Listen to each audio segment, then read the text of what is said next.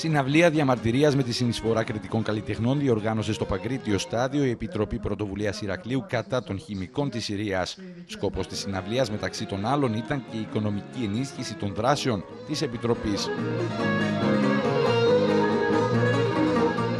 Ο σκοπός και ο στόχος είναι να ενημερώσουμε μια άλλη μια φορά την κοινωνία απόψε το τι πρόκειται και το τι φαντάζονται τελικά να γίνει στη Μεσόγειο.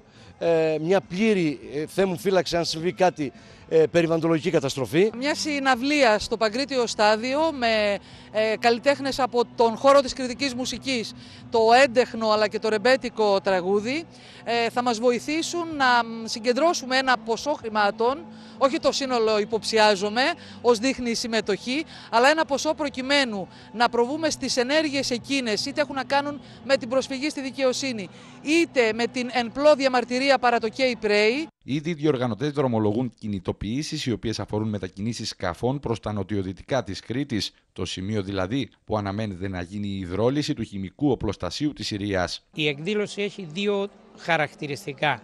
Το πρώτο είναι να μαζέψουμε κάποια οικονομικά, τα οποία χρειαζόμαστε άμεσα για να κάνουμε τις υπόλοιπες δράσεις και το δεύτερο, εάν εισακουστούμε και δεν γίνει η υδρόληση, τα ποσά που μαζεύουμε θα πάνε σε διάφορα κέντρα στο, ε, στην Κρήτη γενικότερα για να βοηθούν άνθρωποι που έχουν άμεση ανάγκη. Θα προστατεύσουμε τη Μεσόγειο, θα προστατεύσουμε τη ζωή μας και θα προσπαθούμε να χτυπάμε το καμπανάκι του κινδύνου για να αφυπνιστούν οι συνειδήσεις. Αν δεν ε, ξυπνήσεις, αν ε, σηκωθεί σε τέτοια περίπτωση, πότε, πότε πρέπει να περιμένεις, σε τι άλλο σκοπό; Να πούμε στους δυνατούς εντός εισαγωγικών που κυβερνάνε αυτόν τον κόσμο να κοιτάξουν λίγο γύρω τους. Υπάρχουν άνθρωποι, υπάρχει αύριο, υπάρχει μέλλον.